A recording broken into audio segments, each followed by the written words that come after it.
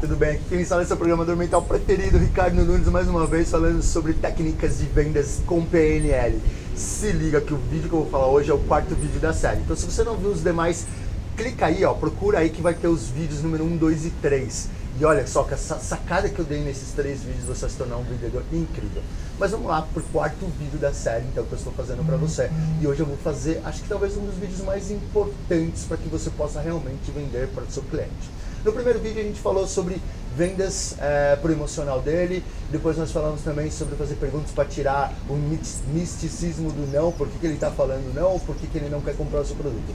E hoje eu vou falar uma das coisas talvez mais importantes.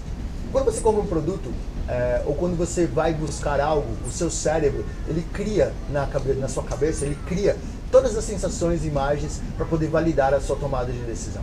Ou seja, antes de você comprar um tênis, comprar um carro, comprar uma viagem, comprar, ir para um restaurante, o seu cérebro já criou todas as sensações possíveis para validar, para ver se realmente o que você precisa é importante. Então eu entendo que o produto que você está vendendo para o seu cliente ele realmente é um produto importante. Então por isso já é alguma coisa fácil. Porque se o seu produto que você está vendendo não é algo importante para o seu cliente, não vai fazer a diferença para ele, não vai fazer ele ter resultado naquilo que ele precisa, realmente a gente vai ter um pequeno, uma pequena dificuldade maior talvez para vender.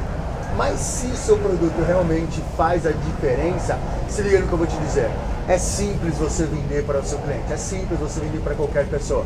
Basta você criar na cabeça dele, se liga, basta você criar na cabeça dele as imagens, os sons e as sensações necessárias para que ele tome a decisão. E como é que eu, Ricardo, mas putz, como é que eu faço isso? Simples, faça perguntas direcionadas ao seu próprio produto faça com que o seu cliente imagine como usar. Como seria se o meu, problema, se o meu produto resolvesse os seus problemas? Como seria se você tivesse a solução desses problemas baseada com esse produto que eu estou te vendendo? Como seria para você ter mais tempo? Como seria para você ter mais produtividade? Como seria para você ter as soluções necessárias para o seu problema?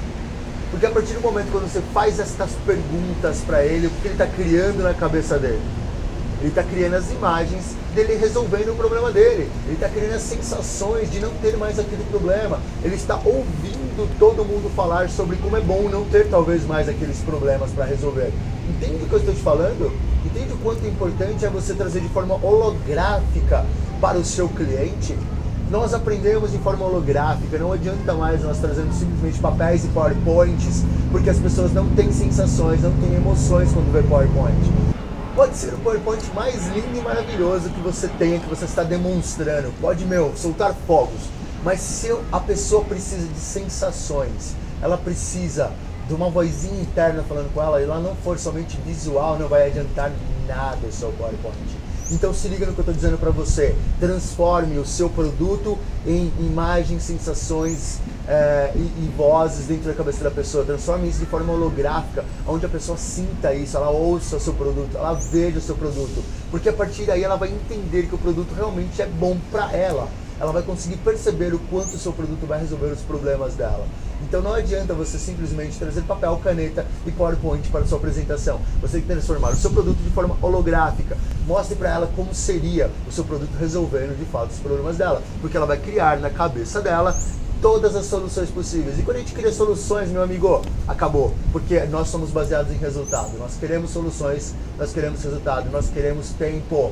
Venda o processo de tempo para ela venda para ela que o tempo dela é precioso e por isso que o seu produto é bom, por isso que o seu produto vai resolver o problema dela. Beleza? Então, mais uma dica que eu deixo para vocês aqui nessa série de vídeos falando sobre venda. Espero que tenha gostado.